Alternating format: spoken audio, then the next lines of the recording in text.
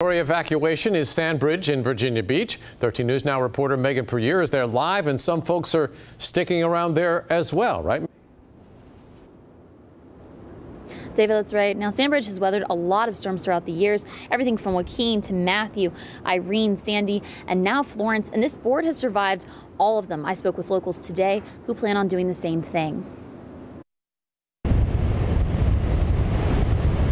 Under a big sky are even bigger waves, waves that might overtake the sand soon in Sandbridge. It can change any minute, uh, especially in Sandbridge. Back Bay is right behind us. Baja owner Jimmy Reeve is closing up at the end of dinner tonight. Uh, most hurricanes, the wind blows the bay out, so there's plenty of room for water to go. It's a chance most business owners aren't willing to take. We have to be aware of what Mother Nature's doing. It can change any time, and safety of our employees, safety of our guests are, are paramount. The beaches are empty, tourists are gone, and many locals went away with them. I'd, I'd hate to be beachfront and have a, a rogue wave or something come in and take out the take out my house. But Grant Abrams says he's ready for what the storm might bring. I got some whiskey at, uh, at the grocery store and uh, yeah, just dodging the traffic, trying to get some gas. Uh, I don't think it's going to be as bad as we originally thought. So. But as houses sit with shut eyes, tucked behind walls of sand, others aren't as sure. Up a few meals in the crock pot and stuff, just so we can heat it up in propane uh, on the grill.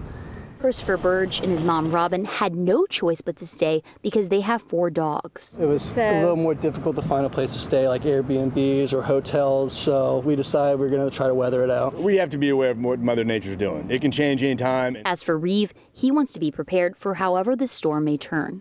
You just never know. We're, we're so exposed, we're so close to the ocean, so close to the bay. If one storm goes on top of us, you know, it, it, could, it could change the whole region.